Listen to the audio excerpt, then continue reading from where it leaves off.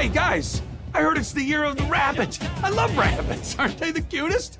In that case, boom. No, no, no. It's not your year yet. You gotta be patient. Your year will come. Excuse me. Wow, all right. Wishing everyone a happy new year. Children stole the power of the gods. His name is Shazam! This is very personal. Can